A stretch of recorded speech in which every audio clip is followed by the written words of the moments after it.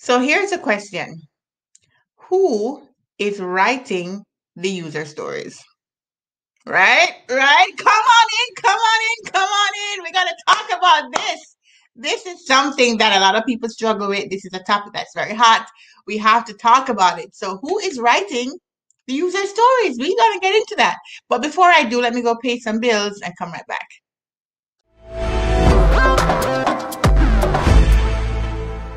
Guys, I want to introduce you to this pillow that I have been using for almost a month now. This pillow actually has water in it. so it has this wonderful little nozzle here. You open it up, it comes with this funnel. You pour the water in to the level that you're comfortable with. And the pillow does not leak. So you're not worried that the water is going to drain out. It's not going to drain out, you can see and um, it's actually very very comfortable. It's very soft. The water's on this side and the rest of it is just like regular pillow but it's very soft and very cozy and very uh, comforting. And i've been searching for pillows for a while because i have neck and upper back issues and until I found this pillow, I have not gotten a good night's rest. So I've tried every type of pillow. I bought memory foam pillow, I bought hotel style pillow, everything. But until I got this pillow, because what the water does, it keeps it cool during the night. And it also supports your body in a very flexible way that really helps you to not wake up with like weird muscle pains in your neck and stuff. So I would encourage you to go get this pillow. I'm going to put the link in the description below. And when you buy it from that link, you'll be supporting me and what I'm doing here on YouTube. So go get this pillow, get a good night's rest because you deserve it.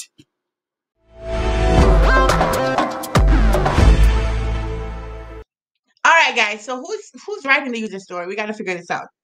Now, normally as you know, because you've watched all my videos and I've explained this, and if you haven't, please go check out my other videos, right? Like and subscribe and check out what I have sharing here on my YouTube channel, okay? So if you've watched those videos and if you're working in Agile, you already know that the user story is written from the perspective of the user. How is whatever you're building going to be beneficial to the user? So, with that in mind, in Agile, sometimes they have a business analyst and sometimes it's just the product owner. So, what I've seen, my computer going up, what I've seen is that the majority of companies have the product owner actually writing the user stories. Let me turn my phone down. Everything's going off today. Sorry. Yeah. So we have the product owner being the one to write the user stories. Now the challenge there is that, you know, some really hold on, y'all. Hold on. Let me just turn everything down. Oh my goodness. I don't even know where my volume's at. Okay, the computer is down and the phone is off. Yeah. All right. No more, no more blinging and going off and stuff like that. Okay, so the product owner is the one who normally writes the user stories, and that's because the product owner has the vision, they understand the use case, they understand the pain that the user story is going to try to solve. Now, that being said, it doesn't mean the product owner understands all the technical things that need to be done to solve the problem. So I've seen where the product owner writes from the use case perspective, and then developers take it on to write more on the technical implementation. Um, I've also seen where the product owner does like the high level of what this feature needs to be and hands it off to a business analyst. And the business analyst is the person who actually writes out the acceptance criteria and all that stuff for the user story. I've also seen where there's just, we need to build this and there's some requirements gathering done. And when that requirements gathering is done, the development team takes it and, and, and makes the user story and writes the user stories. But I will tell you of those three things I've been seeing, and I know there probably are more because every company is doing their own thing. But I've found that because the user story is for the benefit of the user and it's from the perspective of the user, I've just found that it makes much more sense for the business analyst to write the user story. And if you don't have a business analyst, then you have the product owner writing the story. If you know the most about the use case and you're thinking about it from the perspective of the user, then you should write the story. It's for you. Now, if the development team needs to write additional technical details as to how this is implemented, they can create tasks below that story or there's some other mechanism that they can use to flesh out that story some more. But really the developer development team shouldn't be the one writing stories. The reason is that these guys are technical.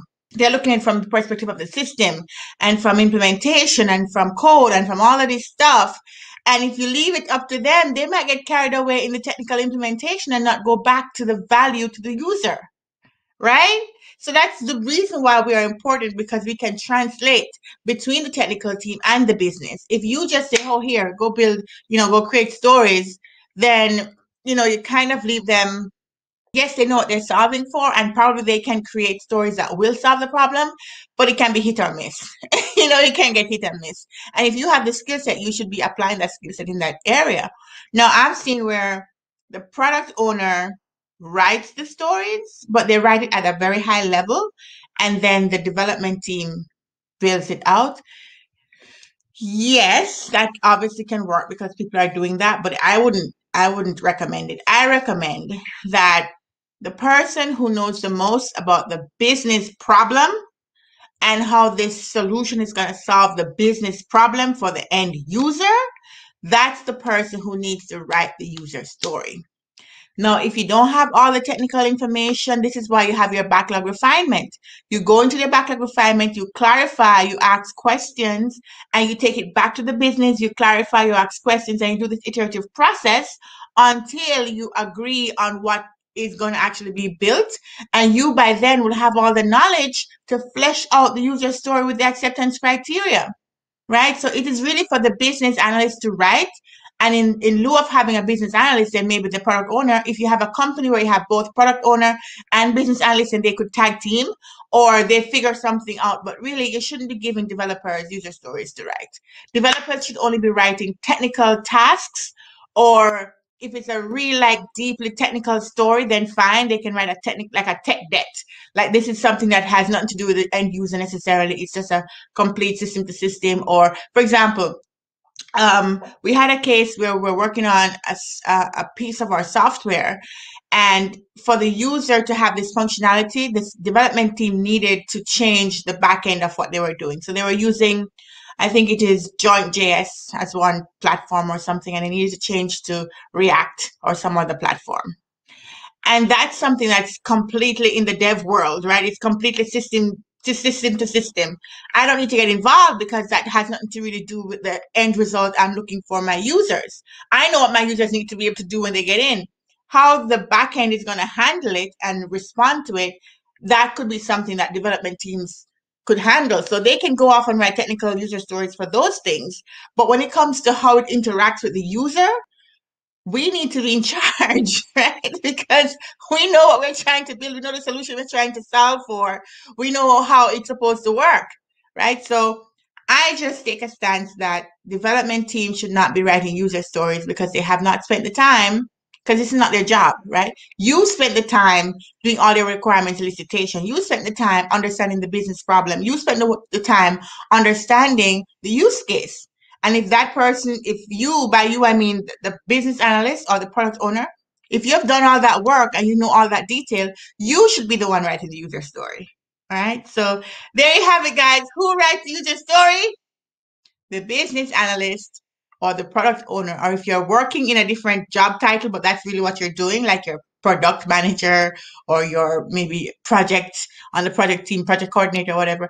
As long as you're the person doing the elicitation, you're the person doing the understanding the use case, then you should be the one translating that into the user story.